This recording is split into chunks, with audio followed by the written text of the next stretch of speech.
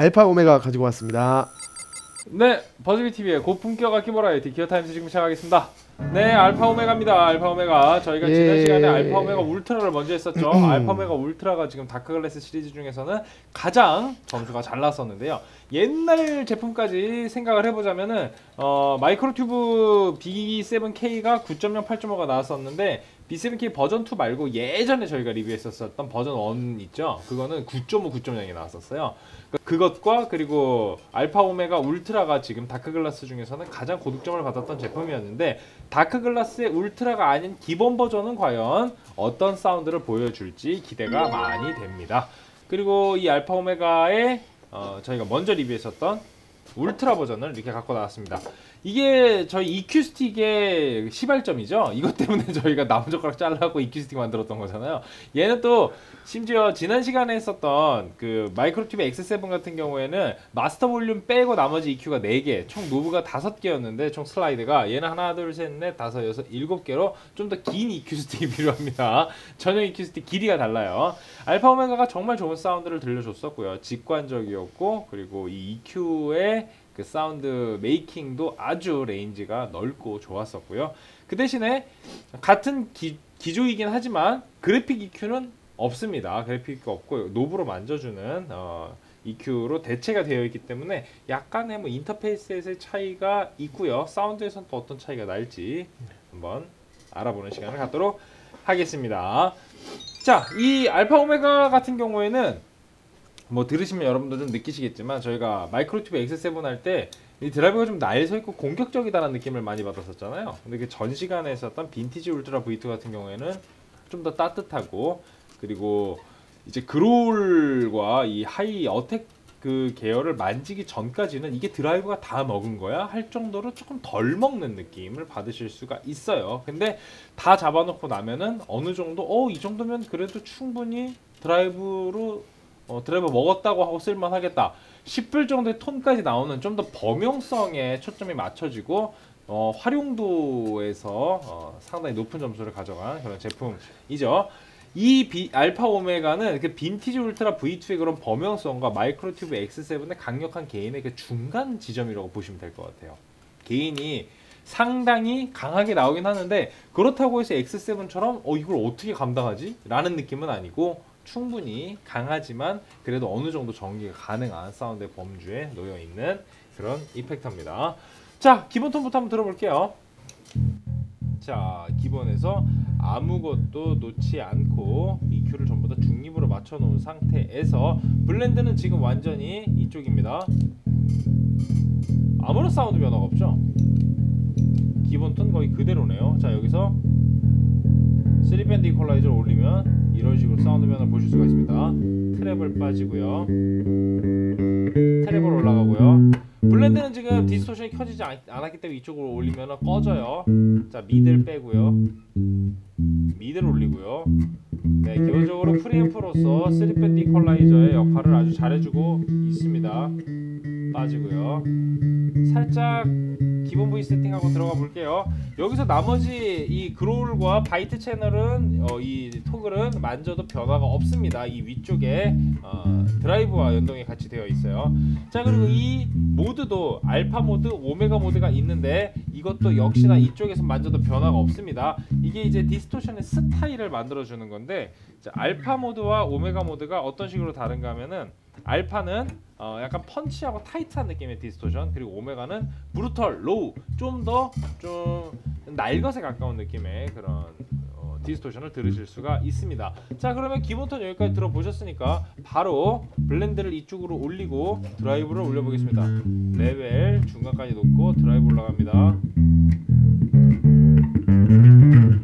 레벨 좀 낮춰야겠네요. 자 기본적으로 딱 아무것도 안 넣는데도 빈티지 울트라보다 gain량이 많죠 드라이브가 많이 들어가 있습니다 자 이거 지금 bite와 growl을 안 건드린 건데 growl 같은 경우에는 뭐냐 low mid 영역을 boost를 해줄 수가 있어요 좀 더 사운드가 fat해지고요 그 다음에 bite는 presence를 강조하는 효과가 있어서 좀 더 high가 강력해진 어, 마이크로 튜브 X7류의 그런 어, 운전이 좀 거친 느낌의 드라이브 같은 느낌을 줄 수가 있을 것 같아요. low 영역대부터 들어볼게요. growl입니다. 네, 미터 확 들렸죠. 없는 거, 있는 거, gain량이 전체적으로 많아진 느낌 받으실 수가 있습니다. 자, 그 다음에 bite 올려볼게요. 자, bite 여기서 쳐볼게요. bite 있는 거, 없는 거, 있는 거 확실히 차이 나죠. 그래서 지금 growl과 bite를 올려놓고 드라이브를 여기까지 놓으면은 이게 알파 오메가 기본 모델에서 놓을 수 있는 최대한의 gain 세팅입니다. 드라이브 세팅이요. 자, 이 상태에서 그러면 이제 모드를 알파, punchy하고 타이트한. 자 이거는 brutal raw라고 되어 있는데 좀 날것에 가까운 완전 다르죠 질감이. 사실 저희가 되게 좋아했었던 게 드라이브 두대 쓰는 거나 마찬가지라고 이거는. 알파 오메가가 너무 질감 차이가 제대로 나기 때문에 여러분들의 선택지가 아주 넓어지는 느낌입니다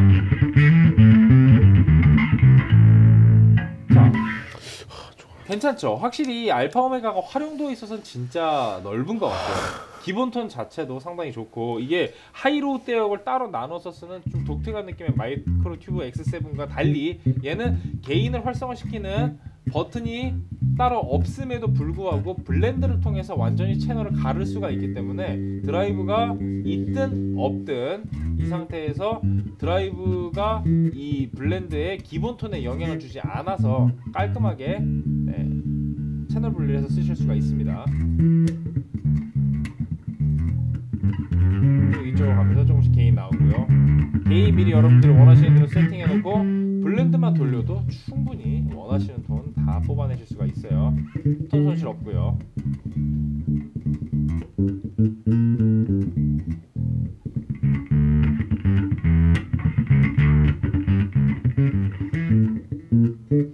그렇기 때문에 이 블렌드에서 전체적으로 이제 마스터 볼륨을 깎아주시려면 그냥 이 EQ를 그냥 싹 내려주시는 거.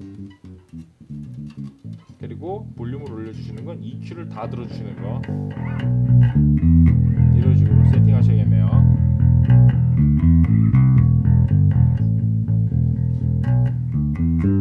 네, 그 다음에 여기 ground lift 스위치 있고요.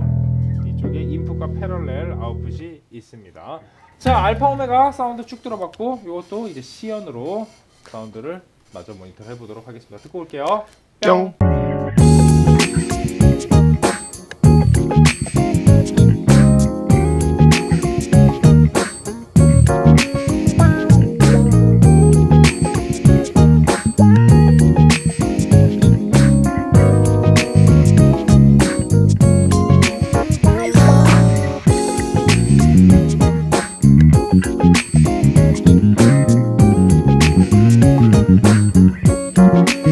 네,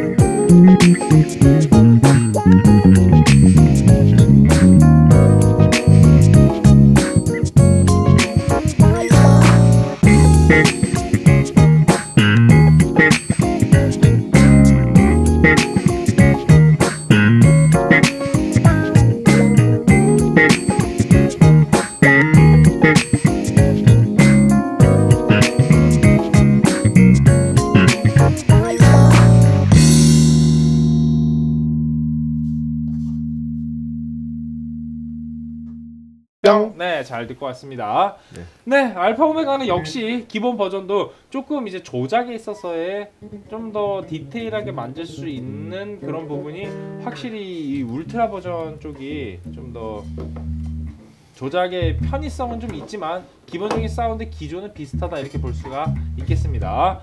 네, 시청자 평 하나 드릴게요. 네. 자. 많은 참여 감사합니다.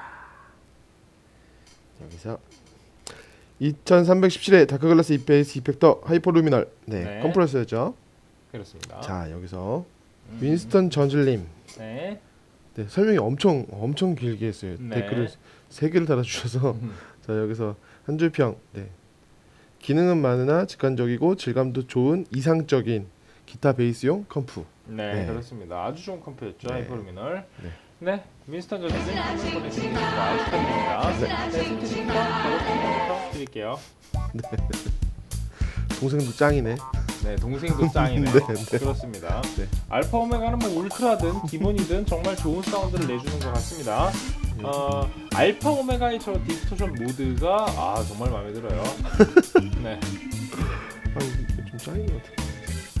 다크 글라스의 간판 스타 알파 오메가 이렇게 드리도록 하겠습니다. 이거 어디까지 지금 개인적인 취향입니다만 정말 마음에 드네요. 점수 드릴게요. 이게 40만 원대죠. 접근성이 좀 이거는 하이엔드.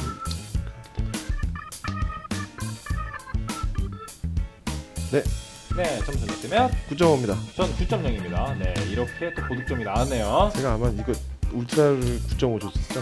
네, 그러니까 똑같을 것 같아요. 그렇습니다. 이렇게 알파 오메가 울트라만큼 좋은 점수가 나왔습니다. 둘다 참- 선택하시면 될 것 같아요. 맞습니다. 둘 다 좋아요. 네. 나는 좀 더 뭐 마스터 볼륨도 좀 음. 쓰고 EQ도 좀 더 디테일하게 만지고 뭐 여러 가지 기능들을 좀 편하게 사용하고 싶다라고 하면 울트라 가시는 거고 그러니까요. 10만 원 더 주고 그 편의성을 가져가시는 거고 나는 좀 10만 원을 절약하고 그냥 뭐 사운드에 좋은 점들만 가져가겠다 하시면 기본 모델 선택하셔도 좋고요. 얼마든지 네, 이 매력을 느낄 수 있는데 부족함이 없는 제품이라는 거 부족함 없어요. 저 네. 전혀 없어요. 그렇게 보시면 될 것 같습니다. 알파 오메가 정말 좋네요. 네, 다음 시간에는 이제 우리가 또 재밌는 시도를 했어요. 이 다크 글라스 모델들을 위주로 pedalboard를 한번 짜봤습니다. 네, 그래서 아주 작은 pedalboard지만 저 정도면은 되겠다. 싶- 우리가 얘기했던 거 있잖아요. 아니 이거는 여기다가 서버 한두 개만 페달 놓으시면 보드 바로 나와요. 얘기했던 그 보드가 바로 나왔어요.